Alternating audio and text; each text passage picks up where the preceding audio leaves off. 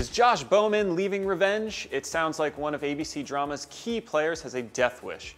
The British actor who plays Daniel Grayson is apparently fed up with the show's convoluted plot lines. Quote, I'm trying to pitch a Daniel death by the end of this season, Josh tells TV Guide. I love working on the show, but I'm just being honest. My character has flip flopped the most, and it's been so hard for me to play.